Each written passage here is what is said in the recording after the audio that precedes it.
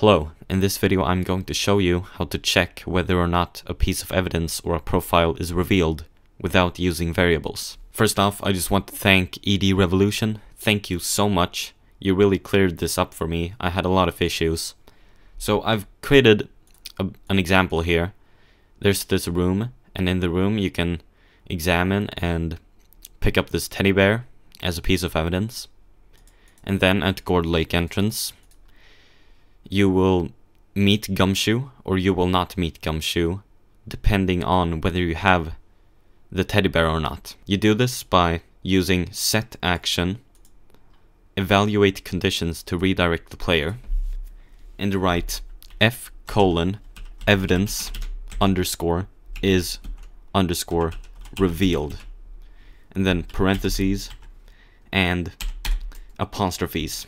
It's very important that you use apostrophes. Do not use quotation marks. It will not work.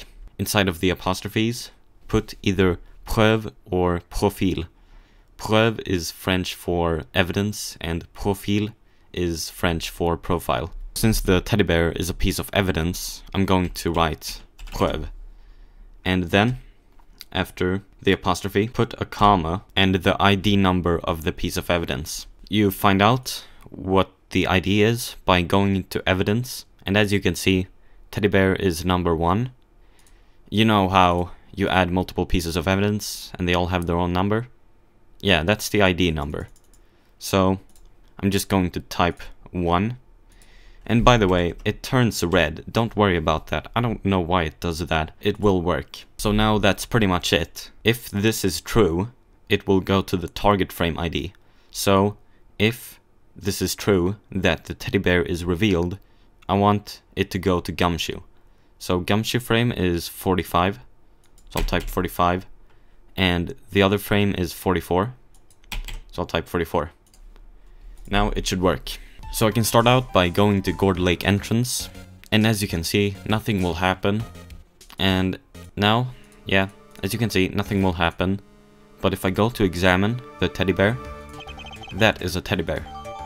Now it's added to the court record, it's revealed, and now we meet Gumshoe.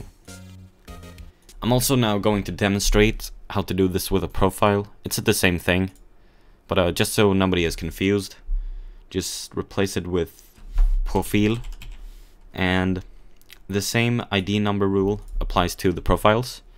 So AA Nickfan is the profile I want to test, which is number one. So yeah, one. It's already there. Because AA Nickfan is already a revealed profile, I will meet Gumshoe right away. Oh, I did something wrong. Oh, I accidentally amputated one of the apostrophes. Make sure to have both of the apostrophes. And now it will work.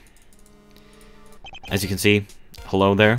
But if I manually hide AA Nickfan, so now it's hidden, I will not meet Gumshoe. And I can now go back, reveal it, and it works. Goodbye.